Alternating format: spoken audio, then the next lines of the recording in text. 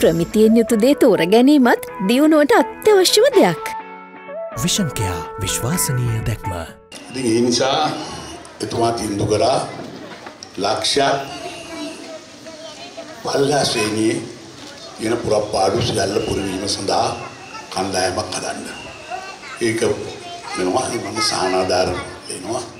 ඊළඟට මේක අපි තාම ඉන්නේ සුළුතරයක් තියෙන ආණ්ඩුව. ආණ්ඩුව පිටවල නැහැ අපි. ගොඩක් අය හිතනවා අපි ජනාධිපතිවරයෙක් ඉන්නා.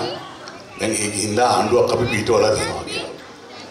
පාර්ලිමේන්තුවේ විපක්ෂය තමයි දැනට වැඩියෙන් ඡන්ද දෙන්නේ.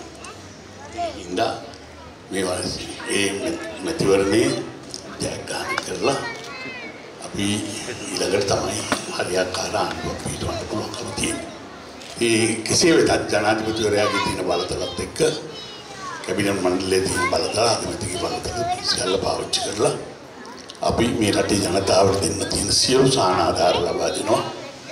ඒ සහනය විතරක් නෙවෙයි රටේ සංවර්ධනය උදෙසා විශේෂ අවධානයක් යොමු කරලා තියෙනවා.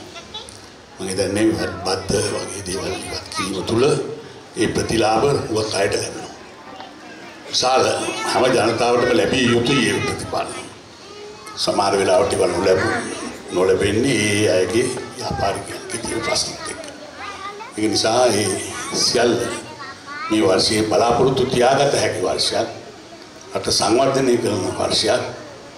ජනතාවට දුන්නු පොරොන්දු ඉටු වෙන වර්ෂයක් වශයෙන් ආ මැතිවරණ තියෙන වර්ෂයක් බවට පත් වෙලා තියෙනවා කියන එක මතක් කරමින් අද ඔබට මේ සත්ක්‍රියාවට සම්බන්ධ වුණ අපේ නායක හම්බුර ඇතුළු ඒ පින්වතුන්ට අපි ස්තුතිය හා ගෞරවය පුද කරමින් ඔබට සුබ අවසන් වේවා කියලා ප්‍රාර්ථනා කරමු. breaking.lk